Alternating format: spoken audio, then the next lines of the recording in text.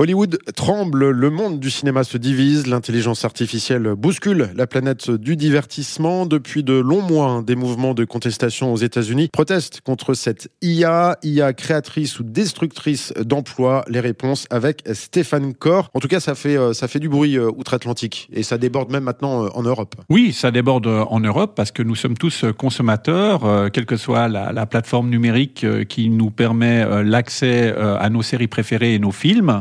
Contenus qui sont à la base produits ou le résultat de, scénarios est produit par des gens qui, eux, sont dans un état de précarité. Donc, euh, il y a ce paradoxe où le prix d'accès à ces plateformes augmente considérablement euh, dans le temps. Et puis, on a des gens qui, eux, sont à la source ou l'essence même de, des contenus auxquels on accède, qui sont pas bien payés, dont le travail n'est pas protégé, qui sont des travailleurs précaires et qui sont menacés aujourd'hui par l'utilisation de l'intelligence artificielle. On avait connu ça avec euh, les fameuses caisses automatiques dans les supermarchés ou même dans certains euh, guichets de poste. Oui, alors il y a récemment une sorte de pseudo-étude qui dit que non, l'intelligence artificielle ne va pas euh, détruire des emplois, mais la réalité du terrain nous montre que dès qu'on peut automatiser quelque chose, l'humain le fait par rapport au modèle économique dans lequel on se trouve. Donc on voit bien qu'il y a quand même moins de vendeurs et de vendeuses qu'auparavant et plus de caisses automatiques, il y a moins d'offices de poste et plus de trafic euh, numérique euh, qui est lié à l'utilisation de ces, outils. Et il va en être de même pour euh, les gens qui créent ces scénarios où il y a une vraie menace qui est représentée par l'intelligence artificielle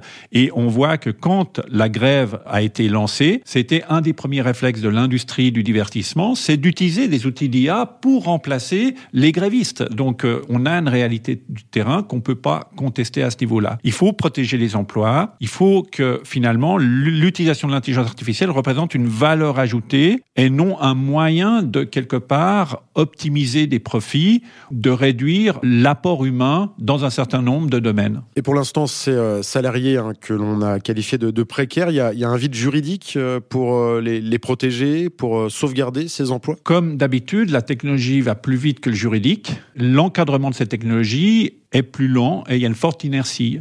Il se fait, mais déjà, il y a des règles éthiques. C'est-à-dire, c'est pas les outils qui doivent définir les règles éthiques, c'est les règles éthiques qui doivent définir la manière dont on utilise ces outils. Et on est tous, quelque part, partie prenante dans la définition de ces règles. En tant que citoyen, on a aussi notre mot à dire, et c'est pour ça que l'éducation numérique, la littératie numérique, c'est-à-dire le niveau de connaissance numérique est fondamental, parce que ça nous permet de choisir et de prendre des décisions et de faire pression sur le politique et les industries pour que ce cadre éthique soit défini clairement et respecté par les entreprises. Et au pire du pire, euh, on peut demander à l'IA de nous créer des lois concernant euh, ce sujet. Oui, mais récemment aux États-Unis, euh, deux avocats ont été sous le coup de procédures euh, judiciaires parce que dans le cadre d'un procès, ils ont utilisé de l'IA et les jurisprudences auxquelles ils ont fait référence n'existaient pas.